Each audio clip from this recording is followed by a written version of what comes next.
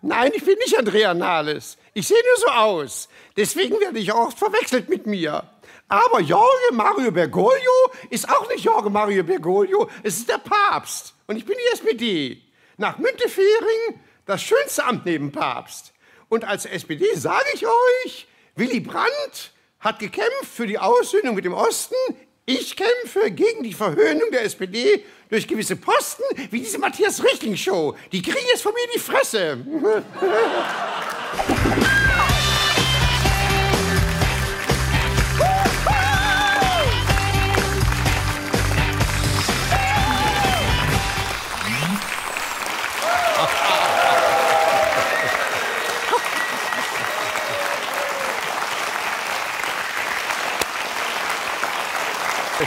Danke vielmals. Herzlich willkommen, meine Damen und Herren, zur Matthias Richting Show. Ihre Hotline für Beschwerden über die Verhöhnung der Wähler, ja? Durch SPD, CDU, FDP, AfD, USW. Äh, deswegen äh, versucht man ja übrigens schon zum Beispiel die SPD abzuschieben aus den deutschen Landtagen und dem Deutschen Bundestag. Aber Teile der SPD schleichen sich immer wieder ein. Ähm, die Frage ist jetzt, ob wir ein Einreiseverbot erwirken können für die SPD und ähm, ob die SPD aber dann äh, durch Gerichtsbeschluss eine Rückführung Rückführung erzwingen kann in die deutsche Politik. Die Frage. Und die Frage ist auch, müsste sie dafür gefährlicher sein? Ja, wieso? Ja, bitteschön. Äh, ungefährliche Asylanten, die hier Deutsch sprechen, einen Job haben und integriert sind, die werden abgeschoben nach Afghanistan. Aber gefährliche Terroristen wie ein Sami A soll per Gerichtsbeschluss zurückbeordert werden nach Deutschland. Ja, ja, was, also was will, will, wie müssen, will man uns erschrecken, damit wir äh, fügsamer sind? Soll die SPD erschreckender sein, damit wir Angst haben, sie zu wählen? Also, das wollen wir alles besprechen heute mit unseren Gästen. Andrea Nahles natürlich, die uns mit ihrer SPD so fern geworden ist. Dann mh, Annegret Kramp-Karrenbauer, die uns mit ihrem Pflichtjahr zu nahe kommt. Und äh, Recep Tayyip Erdogan, der umso näher an Europa ran will, je weiter er sich von uns entfernt. Und diejenigen, die sich umso weiter voneinander entfernen, je enger sie aneinander gebunden sind. Winfried Kretschmann und Thomas Strobel. Sehr verehrte Mitbürger, ich darf nicht. Sehr verehrte Leidtragende, Asylgequälte und Demokratiebeladene, wie Sie sehen, haben wir gesehen, dass wir sehen, dass die Flüchtlingsfrage inzwischen nicht nur geführt hat zur Spaltung der Gesellschaft, sondern auch zur Spaltung der Volksparteien und jetzt sogar zur Spaltung der Staatsgewalten. Wieso, und wieso jetzt? Psst, ich darf doch nicht. Das muss ich Ihnen doch jetzt wirklich nicht erklären vor allen Leuten. Wieso? Ach, so dusselig können doch nicht mal Sie sein. Also bitte, Sie haben eine Arroganz am Tag. Ich weiß einfach nicht, wovon Sie sprechen. Das kann doch kein Problem sein. Das kann doch kein Problem sein. Das ist auch kein Problem. Also, das Problem sind Sie. Das habe ich gehört. Hm. Darf ich es trotzdem vielleicht erfahren? Das habe ich doch gerade lang und breit gesagt. Sie haben etwas gesagt von Staatsgewalt und ja, also, Spaltung. Ja, also mir fehlt da einfach der innere Zusammenhang. Du liebe Zeit. Und sowas Frühstück morgens. Was hat denn bitte mein Frühstück zu tun mit der Staatsgewalt? Strobel! Ja. Es geht darum, dass die deutsche Politik sich gerade hinweggesetzt hat, über, Was? gesetzt hat über deutsche Gerichte. Hä?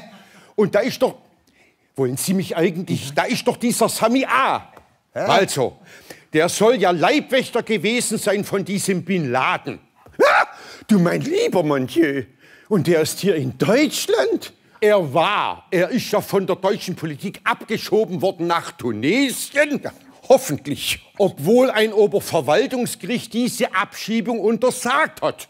Ja, sind die verrückt geworden? Nein, sie spielen.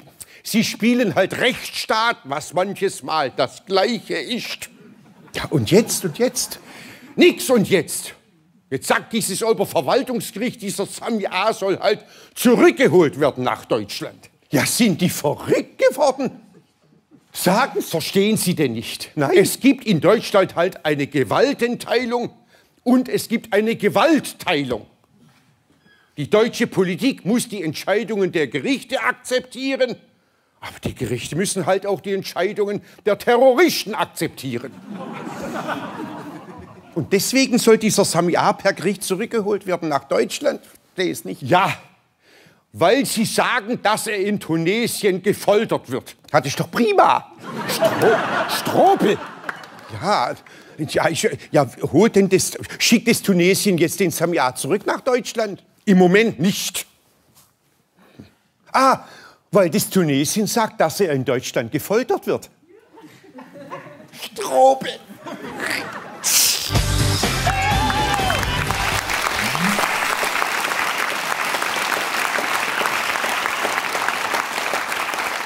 Also, deutsche Politik wird wirklich immer widersprüchlicher. Deutsche Politik wundert sich über deutsche Gerichte, die also diesen Sami A. äh, zurückholen wollen nach Deutschland. Aber deutsche Politik in Form von Andrea Nahles will dann auch wieder finanzielle Unterstützung haben für Terrorvordermänner wie Erdogan. Das fragen wir mal die Testamentseröffnerin der SPD, Andrea Nahles, die wir eingeladen haben. Da ist sie schon. Schönen guten Abend, Frau Nahl. Bitte nehmen Sie Platz hier. Bitte schön, guten Abend. Bitte, bitte nehmen Sie Platz. Sie von mir auch schon in die Fresse bekommen? Ja, Ihr Galgenhumor in allen Ehren, aber ist es nicht irgendwie merkwürdig, wenn Sie Hilfe wollen für die Türkei finanzieller Art und die SPD ins Abseits treiben mit so einem Vorschlag? Ach, abseits. Das sind ja alles Manipulationen dieser Demos-Idioten. Ach so. Ja, da heißt es dann, wenn nächste Woche Sonntag wäre, dann käme die SPD auf 25 Prozent. Auf 17 Prozent. Aber nächste Woche ist erst Montag, da stimmt die ganze Rechnung nicht. Also, aber jedenfalls, äh, jedenfalls verliert die SPD gerade mehr Wähler ans Leben als an den Tod. Nicht? Ja. Ja. Liebe Genossen, Genossen, liebe Trauernde, liebe Hinterbliebene. Gerade haben wir als SPD uns noch einmal in die Regierungsfolter begeben, haben als Einzige in der Regierung Verantwortung übernommen, indem wir den anderen in der Regierung in die Fresse getreten haben. Und jetzt stehen wir hier und müssen erkennen, wenn wir einen von uns verloren haben, werden alle anderen Probleme plötzlich ganz klein. Nur eines nicht, die SPD, die nie ein Problem hatte. Das sehen wir an den letzten Wahlen. 25 Prozent, 23 Prozent, 20 Prozent, 17 Prozent. Aber es ist der Wähler, der das Problem hat mit der SPD. Das ist aber nicht das Problem der SPD. Der Wähler hat uns nicht erkannt. Er hat uns negativ besetzt mit Vorstellungen, die wir gar nicht sind. Das sehen wir aber auch an anderen Dingen des Lebens. An der Natur, an der Umwelt. Da wird mit Plastik und Diesel und Feinstaub verschmutzt, was man dringend zum Leben braucht. Da wird die Luft zum Leben genommen, indem der Regenwald abgeholzt wird. Aber die SPD ist der Regenwald des deutschen Lebens. Wir werden abgeholzt. Aber die SPD ist die Partei der Basis, der Arbeit. Nur in einer Zeit des digitalen Kapitalismus ist es, da kennt man Arbeit nicht mehr. Wo Jobs genommen werden durch Algorithmen, da braucht der Arbeitnehmer eine Chance, um am Ball zu bleiben. Aber wie will man am Ball bleiben, wenn die Repräsentanten und Vertreter dieses Staates ausscheiden schon in der Vorrunde zur WM. und wie will man das akzeptieren, dass wir als pietätlos hingestellt werden von der SPD, wenn wir reden wollen über Brückenteilzeit, wo Genua gerade seinen Brückenteil verloren hat? Wir scheitern an politischer Korrektness. Und deswegen müssen wir sagen, die SPD ist 155 Jahre alt, der älteste Mensch in Deutschland ist 112 und da muss gelten, was wir schon 90-Jährigen mit auf den Weg geben. mit 155, da darf man sterben. Liebe SPD, Ruhe sanft.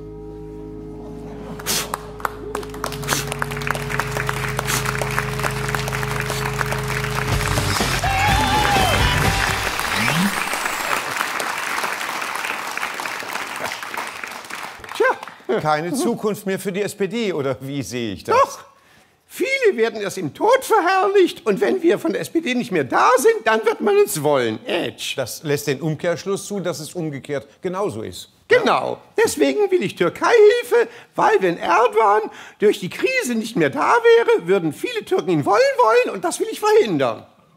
Aha, das ist Politik, das kann ich sagen. Was soll das? Diese bläde Welt, was überzieht uns mit Wirtschaftskrieg und macht aus Türkei eine Gummizelle? Weil sie können nicht ertragen die freie Leben und freie Denken von türkischer Regierung. Was bin ich, Präsident Erdogan von Türkei? Und diese blöde, elende Figur, dieses Trumpe, was ist überhaupt nur amerikanischer Präsident? Weil wurde gehackt amerikanische Wahl von Russland. Aha. Da ist überhaupt nur gehackselter Präsident, ist er nur virtuell.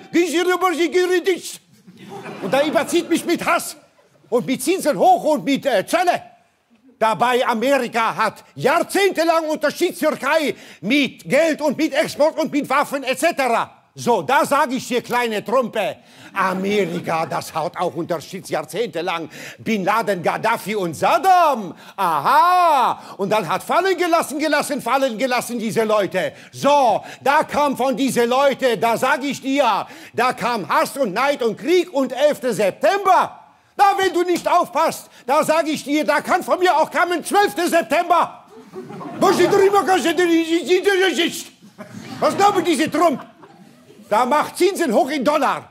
Ah, damit äh, Lira in Türkei gehen, hinunter und wir gehen kaputt. Ja, von wegen, da sage ich dir, von wegen, von wegen. In die ganze öffentliche Leben in Türkei.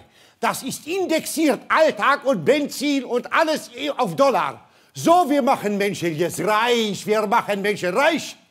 Wie geht das, wenn Amerikaner kommen jetzt in Türkei und gehen in ein Restaurant zu essen Döner?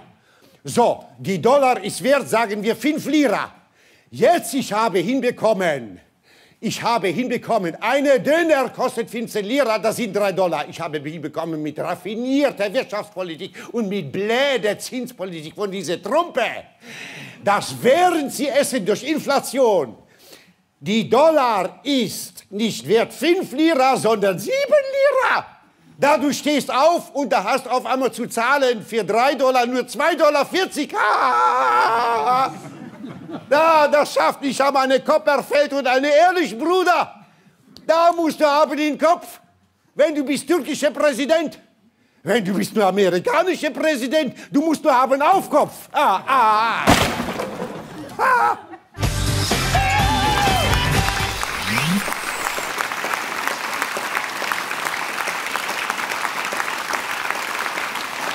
So, deswegen will ich Türkei-Hilfe für die Türkei. Ja, aber damit würden Sie ja Erdogan unterstützen mit deutschem Geld. Ist Ach, das, das ist ja Bätschi. Was heißt Bätschi? Je mehr Erdogans Politik kulminiert, umso abschreckender wirkt er bei uns. Je mehr Deutsche bei ihm unschuldig im Knast sitzen, umso mehr Proteste bei uns, umso mehr Forderungen nach Demokratie bei uns und umso mehr Abneigung gegenüber Radikalen und AfD. Er hat ja eigenartige Ansichten, also muss ehrlich sagen. Für die ich bekannt bin. ja, ja. Aber die Frage ist natürlich, wie viel Abschreckung brauchen wir eigentlich, damit wieder wir zurückkommen auf unsere demokratischen Werte? Denn trotz äh, der Abschreckung Trump und Putin und Erdogan und AfD wächst ja Demokratie nicht unbedingt in diesem Lande. Also müssen wir sozusagen zum Zusammenhalt gezwungen werden? Das fragen wir einmal. Äh, Mich?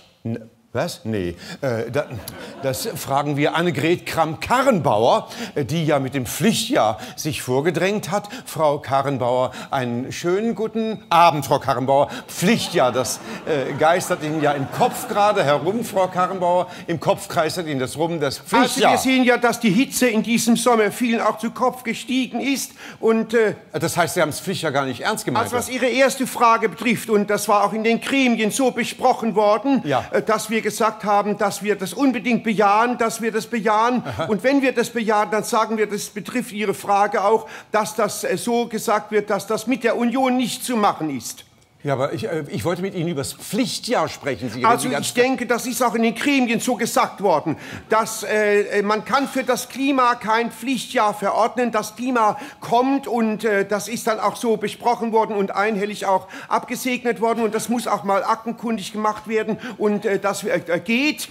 Und ich denke, dass auf freiwilliger Basis da der Einzelne natürlich nichts äh, fürs Klima tut, weil er einfach keinen Erfolg vor Augen hat. Und, und die Klimadebatte geht, wenn ich das sagen darf, ja, ja. Äh, und äh, ist jetzt am Gange. Und das sagen natürlich die Gremien auch, äh, dass der Einzelne weniger Energie verbrauchen soll.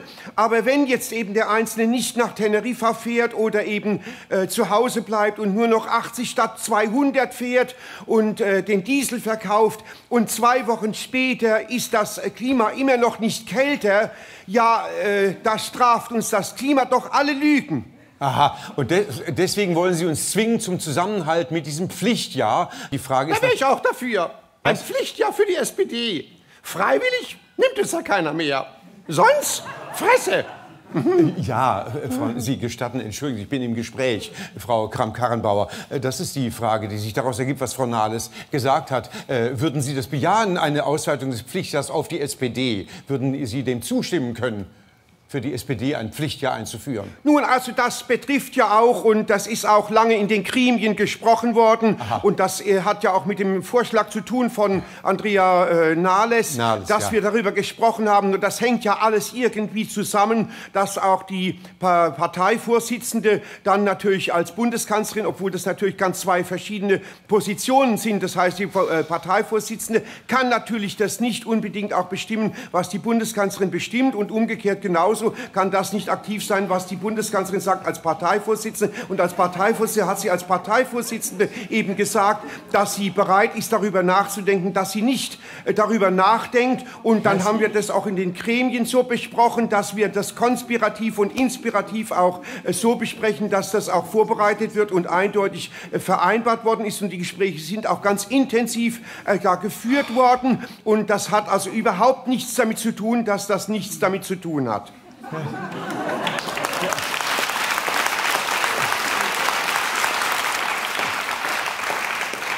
Nimmt aber das Pflichtjahr jungen Menschen gerade nicht zu viel Lebenszeit weg? Das ja, ist meine also Frage. Ich äh, denke, dass es natürlich auch äh, gedacht ist und auch sinnvoll ist zu sagen, das Pflichtjahr, wenn wir das uns anschauen, dass die Jugend gerade auch sehr viel natürlich mit Gewalt zu tun hat an den Schulen. Und äh, da ist ein Pflichtjahr dafür da, dass man das besser bündelt.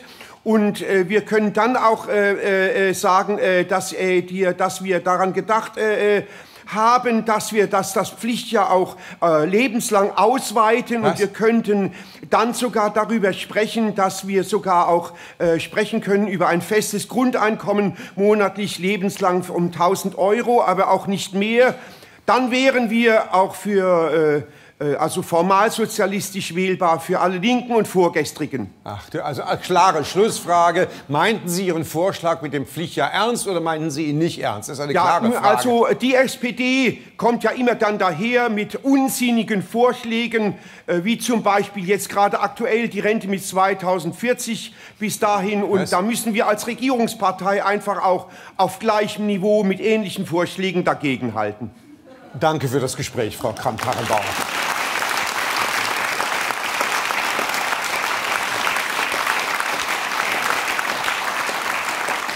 Ja, Frau, Frau Nahles, unsinnige Ideen auf gleichem Niveau. Ist das nicht sehr klein gedacht, wenn Frau Kramp-Karrenbauer das so...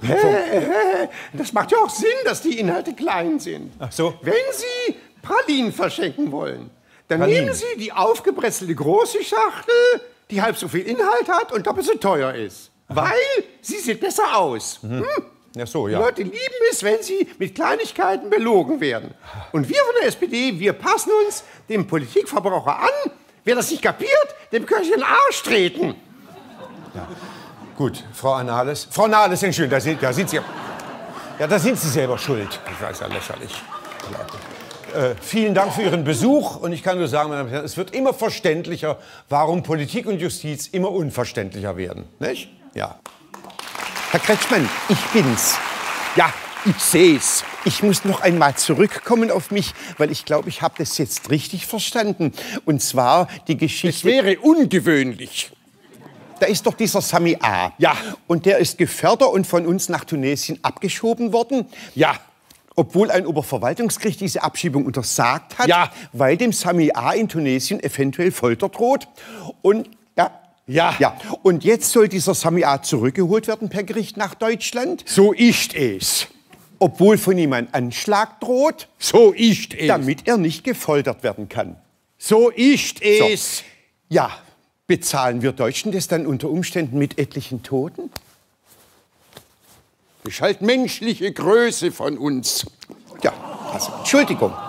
Ich finde das eine ziemliche Folter, und zwar psychisch, und zwar für alle Deutschen, wenn ich das einmal sagen Sie darf. können doch jetzt nicht alle Deutschen irgendwohin zurückholen, nur weil ihnen hier psychische Folter droht. Das sind also die Terroristen klar im Vorteil. Ja, das ist halt Rechtsstaat. Tja. Das verstehen Sie nicht. Ja. Wer versteht schon den Rechtsstaat? Da werden in Stuttgart Eidechsen geschützt vor Stuttgart 21 und hier werden Bürger nicht mal geschützt vor Terroristen. Vielen Dank. Strobel, ja. Wir haben halt im Grundgesetz die Folter abgeschafft und dürfen halt demgemäß nicht ermöglichen, dass andere irgendwo anders gefoltert werden. Verstehen Sie das? Ja. Also damit er eventuell anderswo irgendwo nicht gefoltert werden kann, kann er eventuell hier einen Anschlag machen, wie damals im Berliner Weihnachtsmarkt in Berlin am Ja, Weihnachtsmarkt. gut, also, das ist halt eine humanitäre Frage. Ja, wer umkommt bei einem Anschlag, für den geht es ja oft rasend schnell, das merkt er unter Umständen gar nicht. Während Folter ja oft unmenschlich lange dauert. Ah, Sie sind von einer Brutalität, also wirklich. Das hätte man sich gar nicht Strobel. aus- Ja, Sie sind doch auch Christ. Ja. Also, wie Ja. heißt's denn bei uns? Wenn dich einer auf einem Weihnachtsmarkt schlägt mit einem Anschlag, dann halt ihm auch den anderen Weihnachtsmarkt hin. Ja, heißt es, wenn das Gericht jetzt den Sami A zurückholt, verschafft dem Gericht des Sami A dann auch die Utensilien für einen Anschlag, damit er dann ordnungsgemäß verurteilt und abgeschoben werden kann? Oder wie oder was? Oder wie oder was? Also, so weit geht die Liebe hoffentlich nicht. Ja, also bitte Entschuldigung, wenn das Gericht einen Terroristen so zurückholt, dann ist doch das praktisch Beihilfe zu einer Terrortat. Ja, ist denn inzwischen schon der geförderte Rechtsstaat selber oder wie soll ich denn das verstehen? Verstehen Ja, Sie mir das? also immerhin muss man sagen, dass dieser FDP-Kubicki gesagt hat, dass dieser Sami A. abgeschoben wurde. Mhm. Also hier nicht gefördert sein darf. Das wäre eine Missachtung des Rechtsstaates wie im Erdogan-Land. Ah, da kann ich Ihnen aber auch sagen, wenn das so weitergeht, da werden hier viele sagen, wo bleibt bei uns eigentlich der Erdogan? Bei dem werden viele gleich abgeschoben zum Wegsperren, die nur unliebsam sind. Ach so. Ja, wenn ich an Sie denke, wären das ja traumhafte Aussichten. Strobel, äh, Kretschmann!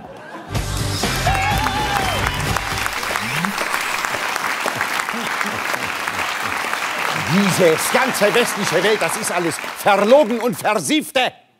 Da unglaublich diese, wie heißt der Nazi, die, wie heißt das, Deutsche, auch diese Deutsche, dieses Nales Andrea, da sagt sie, sie will geben Wirtschaftshilfe von Deutschland für Türkei, wenn wir geraten in Not. Ah, was soll das heißen? Damit Türkei bleibt stabil. Ach so, das heißt so wie ist. Was soll das heißen? Das ist Interessante. So, da habe ich recht, wenn ich sage, ich schicke äh, Terrorist Dennis Yüksel in den Knast. Und wenn ich sage Wahrheit, wenn ich sage, Deutschland ist Naziland. Da, bläden alles. Ich habe geschaut, diese faule Trikto. Was soll das heißen? Wir geraten in Not. Wir kennen überhaupt gar nicht geraten in die Not, weil wir haben überhaupt gar nichts. Weil in Türkei, das ist nur Westunternehmen und Millionen von Westexporte und Westbanken, die geben Kredit in Dollar. So, wenn sie geben Sanktionen von Westen, sie sind selber in Arsch. Und wenn alles macht Wirtschaftshilfe, sie wird nur unterstützen sich selber, diese Wichser. Deswegen, wenn nicht, sage ich dir, wenn nicht, da aber. Ich fahre trotzdem nach Deutschland. Und ich werde diese Präsident Steinemeier, das werde ich empfangen mit militärischer Ehre. Und ich werde Ihnen sagen, dass ich habe durchschaut. Ich habe durchschaut und ich werde nicht gestatten, was diese westlichen Verbrecher planen zu vernichten Türkei, wenn sagen, sie wollen keine höhere Zinsen, sondern niedrige. Das ist Idiotie. Wenn sie wollen keine Abkommen mit IWF für Finanzhilfe, was soll das? Wenn sie wollen Tausch von Dollar in Lira, idiotisch, idiotisch. Und nur künstlich kreditfinanzierte Wirtschaft betreiben, diese Verbrecher, die... Ach so, Ah, das ist ja alles meine Pläne. Ah, großenartig. Türkei Firsch.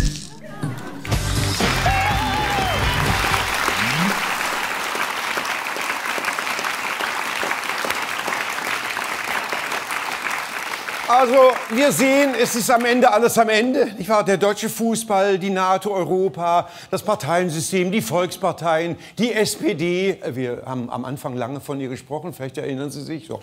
Also, die SPD ist am äh, Tiefpunkt angelangt oder es geht vielleicht noch weiter runter und lässt sich trotzdem noch immer zu Landtagswahlen tragen. Also, ich weiß auch nicht, was für eine Qual, furchtbar. Noch eine Wahl, noch eine Wahl, noch eine Wahl. Lass doch die SPD einfach in Frieden aussterben.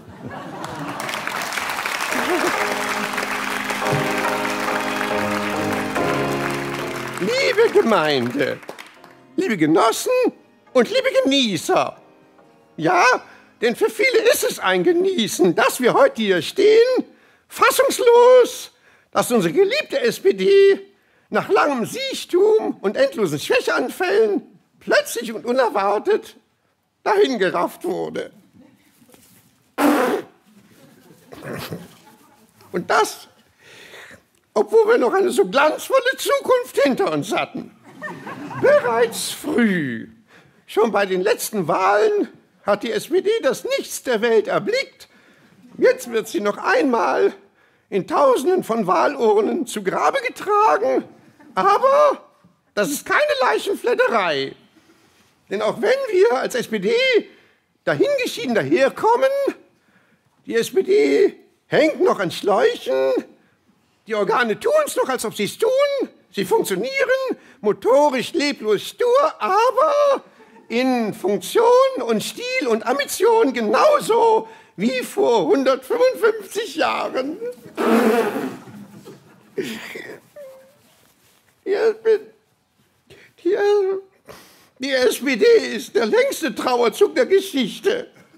Wir sind in der Evolution die einzige Leiche, die sich permanent selbst beerdigt. Als Dauerschauspiel. Wir sind die Untoten der Republik. Vergangen, aber immer noch präsent unter den Lebenden. Und das liegt daran, dass die Einbalsamierung von der SPD so perfekt war. Man sieht uns einfach nicht an, wie lange wir schon tot sind. Die SPD ist eine Idee. Die SPD ist immer der Geist gewesen. Deswegen sind wir unsterblich. Die SPD wird weiterleben als Gespenst in einer anderen Welt. In Sarah Wagenknechts linker Sammelbewegung aufstehen, die nur funktioniert ohne die SPD. Denn Aufstehen ist gut, aber wenn Hüfte und Rückgrat gebrochen sind, die Gelenke steif, dann steht da nichts. Und Linke und AfD Lass uns nicht mal mehr den Rollstuhl.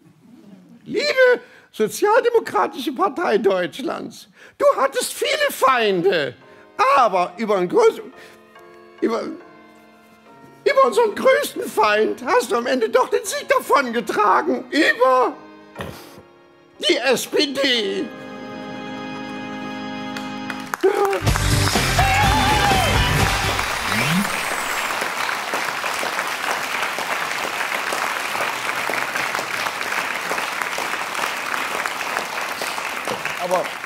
vielleicht bereiten ja Andrea Nahles und die Führungsspitze äh, schon äh, die SPD vor als Grabkammer, äh, die irgendwann mal in 3000 Jahren von einem neuen Howard Carter entdeckt und geöffnet wird. Und wie damals bei Tutanchamun 1922 äh, er dann über die SPD auch viel Größeres sagt, als wir es heute von ihr tun.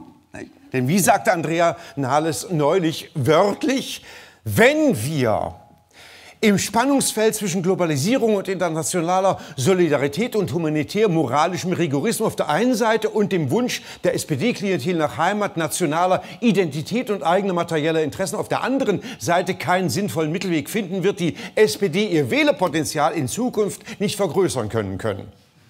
Sie wurde sofort gefragt, ob sie das verstanden habe, was sie da gesagt hatte. Und sie sagt natürlich prompt, nein, wieso? Guten Abend. Guten Abend.